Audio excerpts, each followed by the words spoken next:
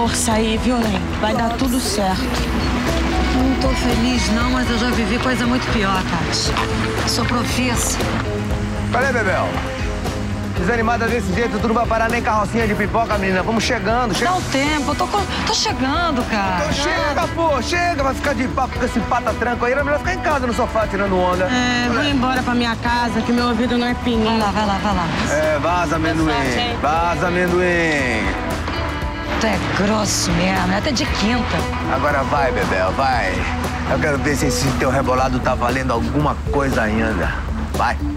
Você sabe muito bem o que eu sei fazer. me aplicou e me fez louca. Me fez pouca. Vai amarelar não, hein, Bebel? Vai amarelar não. Vai perder cliente. Não é de mais nada, né? Aí, mas aí, quentinha?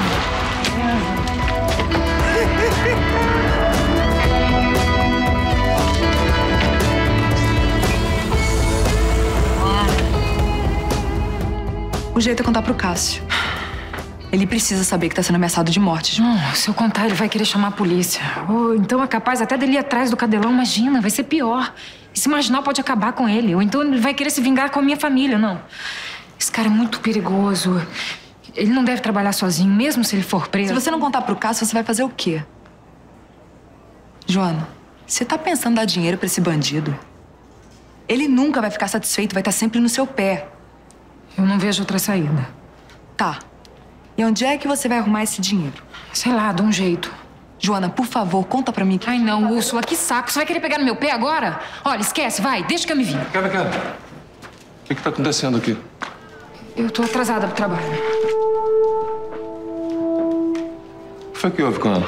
É que ela achou ruim porque eu voltei com um ex-namorado meu que ela não gosta. Você mente uma Úrsula. Tá querendo proteger a sua amiga, mas eu preciso saber. É assunto dela, Cássio.